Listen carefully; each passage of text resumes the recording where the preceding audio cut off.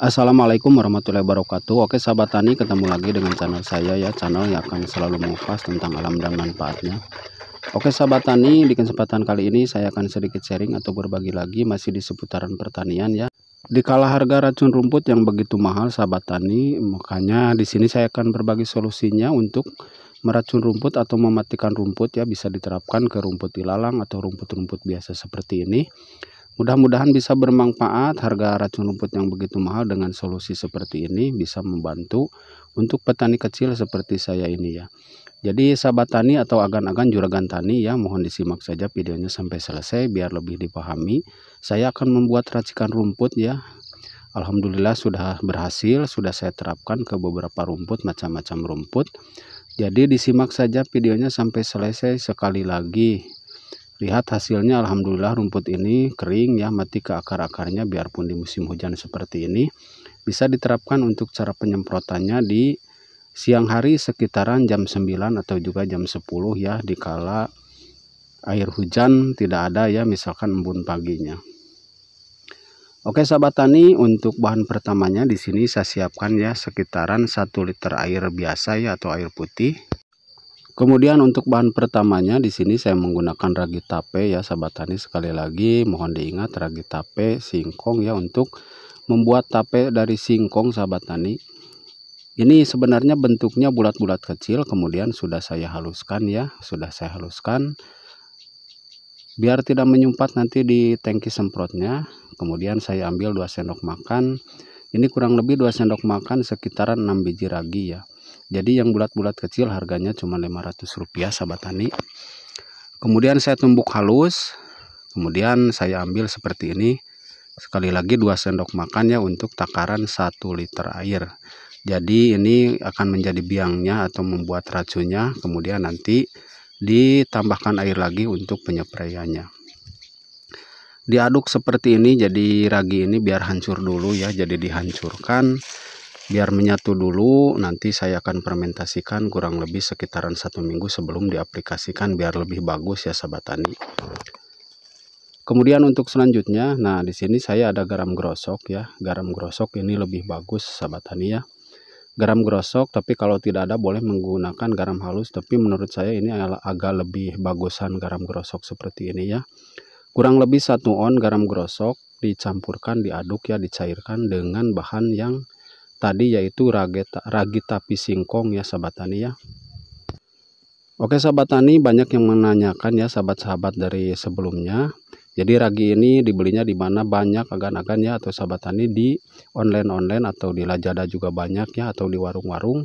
Tanyakan saja ragi untuk membuat tape singkong itu lebih bagus untuk campuran membuat racun rumput seperti ini ya.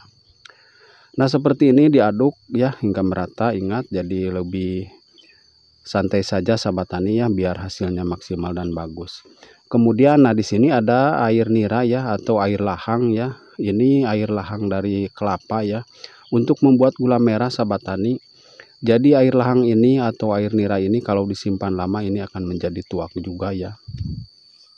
Makanya bagusnya setelah diambil dari pohon kelapa dipermentasi sekitaran satu bulan dua bulan untuk membuat campuran racun rumput ini kurang lebih 200 ml ya untuk campurannya tidak perlu banyak jangan satu liter atau setengah liter untuk membuat campuran satu liter air ini. Oke untuk selanjutnya setelah dicampurkan ya tadi sekitaran satu on apa ya satu on garam garam grosok kemudian 2 sendok ragi dan juga air nira 200 ml ya. Kemudian untuk selanjutnya bisa menggunakan berhubung di sini saya kebetulan tidak ada rinso atau daya ya sahabat tani boleh menggunakan deterjen atau sabun colek seperti ini sahabat tani ya. Karena hasilnya sama boleh menggunakan sabun colek ini kurang lebih sekitaran kalau ini pakai sendok 2 sendok makan ya 2 sendok makan saja atau perkirakan jangan terlalu banyak ya sahabat tani untuk membuat campuran racun rumput Alhamdulillah baguslah sahabat tani boleh diterapkan di rumah masing-masing ya terutama yang minim modal seperti saya ini untuk menghemat ya sahabat tani. Oke untuk selanjutnya setelah dicampurkan ya jadi bahan-bahannya sudah saya jelaskan dari awal.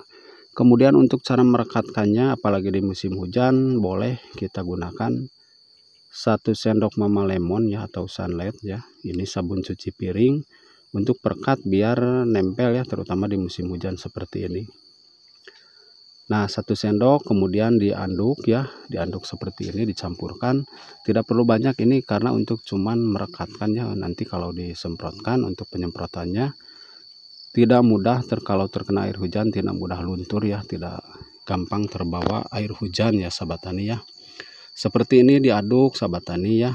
Santai saja untuk cara pembuatan lebih maksimal dan bagus ya untuk menghancurkan semua jenis rumput terutama gulma-gulma yang ada di tanaman-tanamannya.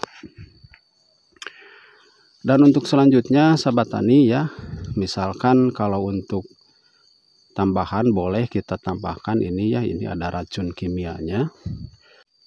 Tapi sahabat tani kalau untuk rat atau rumput-rumput seperti balakaciut ya atau cabai-cabean tidak perlu menggunakan tambahan racun kimianya. Jadi kalau tambahan racun kimianya tidak perlu banyak juga ya ini lebih hemat. Cukup dua tutup kecil tutup aqua seperti ini atau tiga tutup ya. Jadi boleh menggunakan merek-merek apa saja ya seperti Roundup, Elang atau juga Gramoxone boleh-boleh saja untuk campuran. Saya tidak merekomendasikan untuk campuran ini. Tapi kalau dosisnya maksimal tidak perlu menambahkan racun kimia juga sangat bagus ya tapi kalau untuk sedikit rumput-rumput yang agak membandal ya boleh ditambahkan.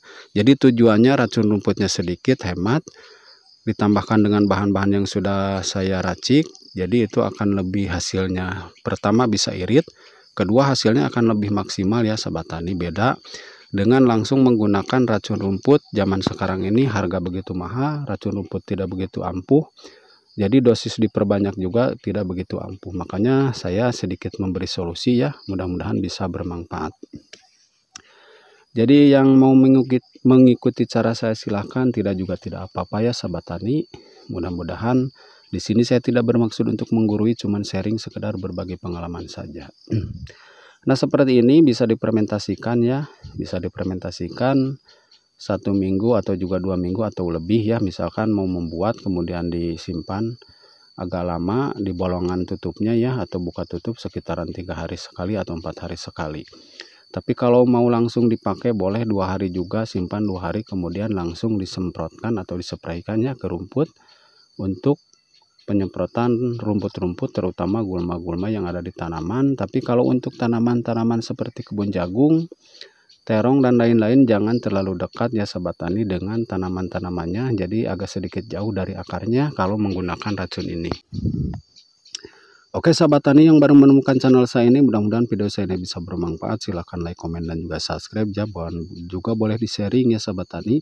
Kalau memang video ini ada sedikit manfaatnya atau bisa bermanfaat silahkan like, komen, dan juga subscribe. Kalau ada pertanyaan, kritik, dan saran silahkan tulis di kolom komentar jadi sekali lagi saya perjelas ya ini bisa menghemat. Kalau ditambahkan dengan racun kimianya jadi racun kimianya hemat hasilnya akan luar biasa ya. Seperti ini ini untuk bisa satu setengah liter ini bisa untuk dua tangki yang 16 liter ya sobat tani ya. Jadi setengah liter ini bisa untuk dua tangki untuk takaran penyemprotannya. Dan juga di musim hujan boleh diterapkan sekitaran jam 9 pagi atau jam 10 pagi untuk penyepraiannya jadi setelah embunnya hilang ya sahabat tani ya Oke sahabat tani mungkin sampai di sini mudah-mudahan bisa bermanfaat. Terima kasih sampai jumpa di video selanjutnya. Wassalamualaikum warahmatullahi wabarakatuh